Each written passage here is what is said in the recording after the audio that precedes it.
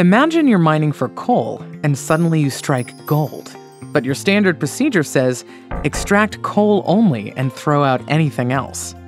You're forced to ignore the gold and miss out on the fortune it would bring. This is exactly what's happening with the outcomes of document reviews and life science companies. Day to day activities are generating mountains of meaningful information on how quality systems are performing. But standard procedure often leads to this valuable data being scattered, siloed, and never seen again. As an industry, we have the chance to address this problem and the ability to change it. It's in our hands to stop throwing away the treasure our quality management systems are uncovering. Think of the possibilities. If you had access and visibility into the outcomes of your document reviews, there's so many opportunities to create value. Your teams can have actionable insights at their fingertips in real time.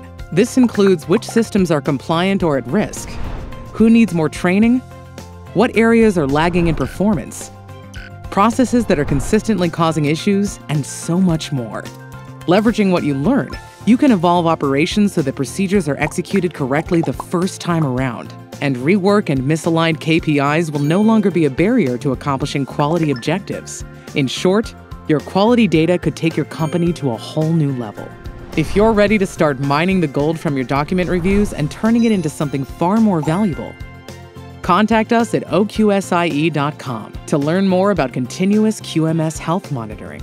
It's the easiest and yet most powerful Quality 4.0 solution.